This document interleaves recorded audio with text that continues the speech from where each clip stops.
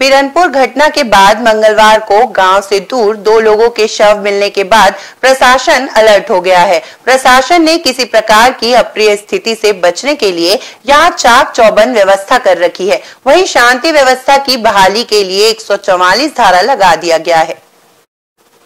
बेमेतरा ज़िले के कोरवई गाँव के पास मंगलवार को सर में चोट लगे दो लोगों के शव बरामद किए गए, जिनकी पहचान विशेष समुदाय से संबंध रखने वाले पिता और पुत्री के रूप में की गई है। बेमेतरा पुलिस अधीक्षक का कहना है कि शवों को पोस्टमार्टम के लिए भेज दिया गया है। दोनों की मौत का कारण पोस्टमार्टम के बाद ही पता चल पाएगा। वही पुलिस ने पीड़ित परिवार से मुलाकात करने पहुँचे सांसद विजय बघेल, भाजपा प्रदेश अध्यक्ष अरुण साव व उनके दो सौ समर्थकों को रोक दिया है, जिसके बाद पुलिस पर पथराव हुआ। इस पथराव में एक पत्रकार घायल हो गया। फ़िलहाल प्रशासन ने गाँव को छावनी के रूप में तब्दील कर दिया है।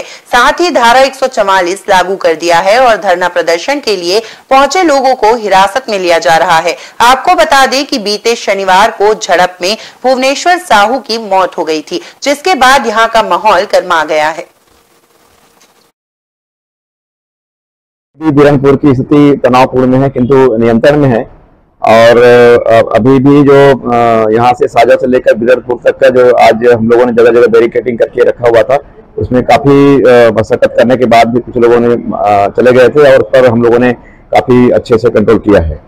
सर 144 लागू है उसके बाद में भी लोग अभी आग जाने की घटना अंजाम दे रहे हैं सर?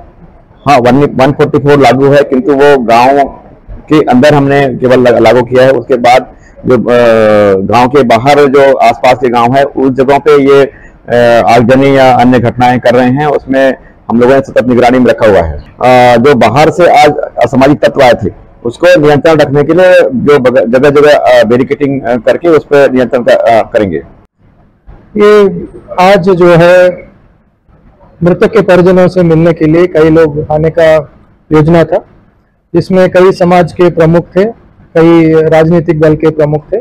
इन सबको बताया गया है कि क्योंकि सीआरपीसी 144 सेक्शन लगा हुआ है, छोटे ग्रुप में उनको जाने की परमिशन दिया जाएगा।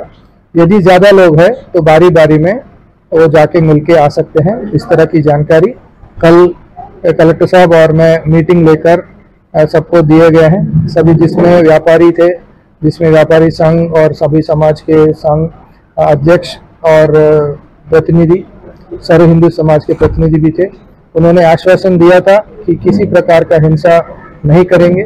शांतिपूर्ण वो जाकर अपनी सांत्वना प्रकट करके वापस आएँगे और हमारे द्वारा आश्वासन दिया गया है कि किस मार्ग से जाना है और छोटे छोटे ग्रुप में अगर जाएँगे तो बारी बारी में सबको मिलने की मौका दिया जाएगा।